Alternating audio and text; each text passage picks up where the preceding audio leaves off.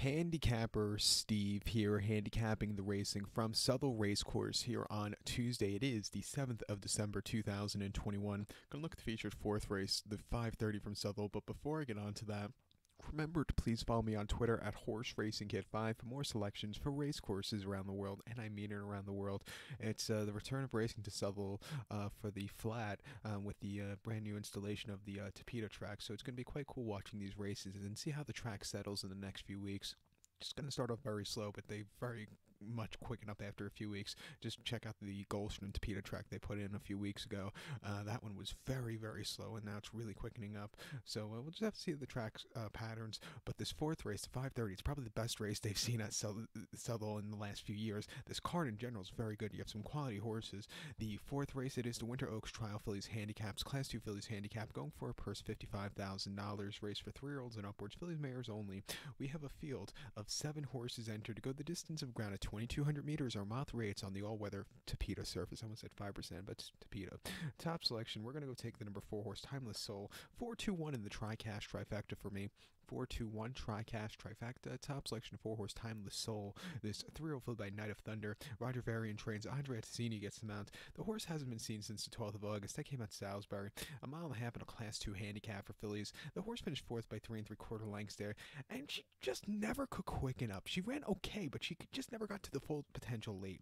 Coming here off the bench, a lot lesser quality horse on the Tapeta, which is mm, standard. She should definitely get the trip, even a little longer in the future to suit her well. But I think here in, in the seasonal reappearance, I think she can run a lot better than she did last time out at Salisbury, where she didn't run half bad. She just couldn't win.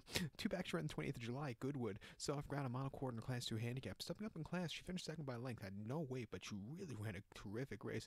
The winner was carrying equal amount of weight that day. Really ran a lot better, but this horse really showed potential there. And then a Thirsk on 3rd June, one mile class five in fillies novice. She finished third by four lengths. Again, she just was very lackadaisical. Mile was definitely not her trip. Like I said, mile three eighths might not even be her trip. I think she wants to go probably a mile three quarters, a mile seven eighths. Lillie Langtry for her next season looks like a good race. Race, but um, again, this horse just wasn't getting into it, uh, or one of those staying races uh, for the fillies. Um, and then prior to that, the Beverley, uh, she ran an 11th of May, mile 16th in Class 5 fillies maiden race. She finally broke the main. You want to be wide at Beverley, and she was just that wide. And she won by two and a quarter lengths, and she got the job done. A very, very easy run. Coming here, getting Atzeni up, uh, drawn very well. Four to one, let's use her. The two horse Viola is your wise guy horse. Kept going back to her. She's either going to run a mass race or she's going to hit off the board. Um, her most recent race against the um, at Lingfield in October was just a very disappointing run. She was a little bit too wide there, cutting back an extra two furlongs should suit her well. Um, you know, she, like I said, she, she's a she'll